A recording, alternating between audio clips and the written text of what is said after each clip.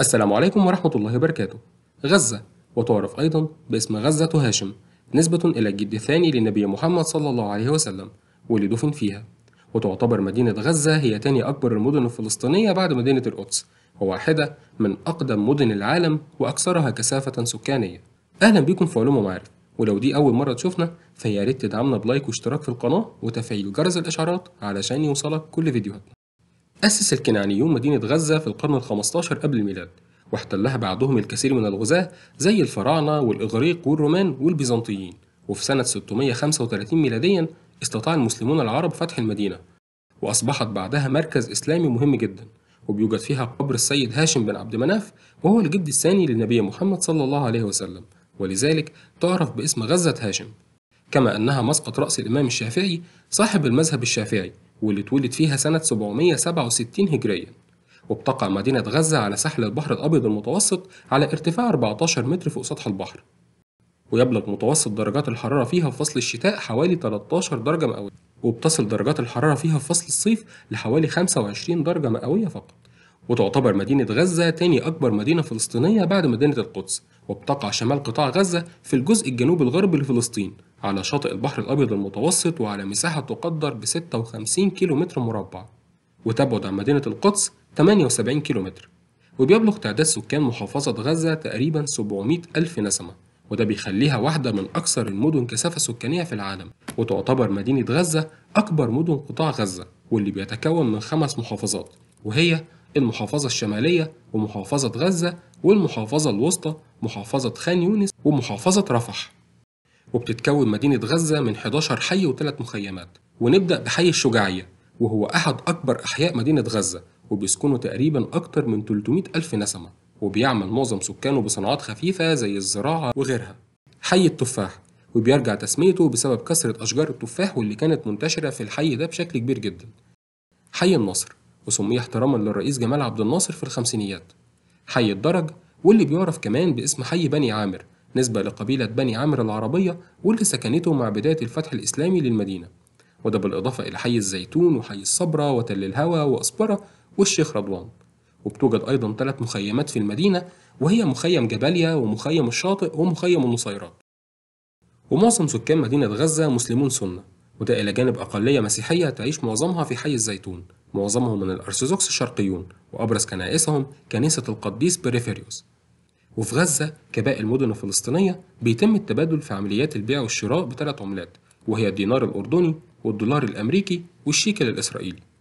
وتبلغ نسبة البطالة في غزة حوالي 50% تقريبا وبيعاني الاقتصاد بشكل عام في قطاع غزة من سنة 2008 بسبب الحصار الشديد المفروض على القطاع. وده أدى إلى نقص حاد في المواد الخام وعدم القدرة على التصدير. فقد انخفضت أعداد المصانع من 3900 مصنع إلى حوالي 195 مصنع فقط. وأدى ده إلى خروج حوالي 75 ألف عامل من أصل 110 ألف عامل من سوق العمل. وبتشتهر المدينة بزراعة وتصدير الزهور وده إلى جانب زراعة بعض المحاصيل الزراعية زي الشعير والقمح. وبتشتهر برضه بزراعة البرتقال والليمون والبطاطا والعنب والفراولة والخيار والتين. وتعد أبرز الصناعات في المدينة هي صناعة الصابون. ده إلى جانب صناعة الفخار والتطريز والملابس القطنية وصناعة الزجاج. وبيعتمد سكان غزة على المياه الجوفية كمصدر وحيد للشرب والاستخدام الزراعي والمنزلي. وبيعد وادي غزة هو أقرب جدول مائي لمدينة غزة واللي بيحتوي على كمية قليلة من المياه في فصل الشتاء بيتم تحويل معظمها إلى إمدادات المياه في إسرائيل. وتقريبا بيكاد يخلو من أي مياه في فصل الصيف. والمياه الجوفية على طول ساحل قطاع غزة هو تقريبا الخزان الرئيسي للمياه العذبة في قطاع غزة ككل. ودلوقتي هنتكلم عن أهم المعالم في مدينة غزة. أولا جامعة الأزهر. وهي مؤسسة أكاديمية من مؤسسات التعليم العالي اتأسست سنة 1991 وبتعتبر أكبر جامعة في قطاع غزة. الجامعة الإسلامية وتأسست سنة 1978 ميلاديا وهي مؤسسة أكاديمية مستقلة من مؤسسات التعليم العالي. المسجد العمري الكبير ويقع في حي الدرج ويعتبر من أقدم وأكبر المساجد وأهمها وبيعود أقدم جزء في الجامع إلى القرن الثاني عشر الميلادي وفي الأصل كان معبد وثني قام المسلمون بتحويله إلى مسجد. جامع السيد هاشم ويقع كمان في حي الدرج ويعتبر من أكبر وأجمل جوامع غزة الأثرية وأنشأ المسجد في عهد المماليك وفي عام 1850 ميلاديا جدده السلطان عبد الحميد. والمسجد عبارة عن صحن مكشوف محاط بأربع مظلات ويوجد في المسجد ضريح جد الرسول هاشم بن عبد مناف ونسبة إليه أطلق على غزة اسم غزة هاشم. كنيسة الروم الأرثوذكس وتقع بحي الزيتون وأنشئت في بداية القرن الخامس الميلادي. وتتميز الكنيسة بجدرانها الرخامية والجرانيتية الضخمة كما يوجد فيها قبر القديس بريفيروس واللي توفى سنة 420 ميلاديا.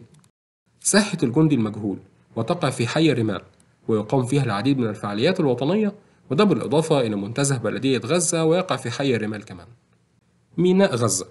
وميناء غزة هو أحد أهم موانئ فلسطين ويقع شمال قطاع غزة وذكر في عدة نصوص تاريخية قديمة.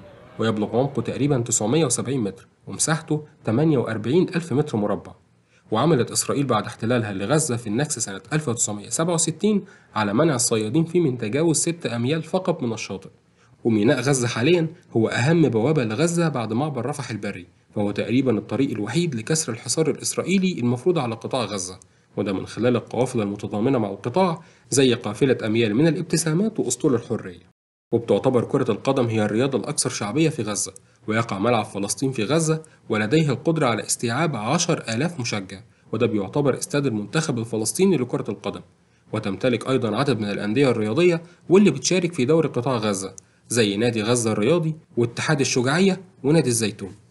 والسياحة في مدينة غزة بتعتمد بشكل رئيسي على البحر اللي بيتميز بشواطئه ورماله الذهبية وكمان بتعتمد على الأماكن الأثرية التاريخية حيث تضم المدينة العديد من الآثار المسيحية والرومانية والإسلامية واللي بتتمثل بالأسواق والمساجد والقصور ده إضافة إلى المدارس والكنائس والحمامات والمكتبة اللي بتحتوي العديد من المخطوطات. ودلوقتي هنتكلم عن أبرز مواقع غزة الأثرية والسياحية.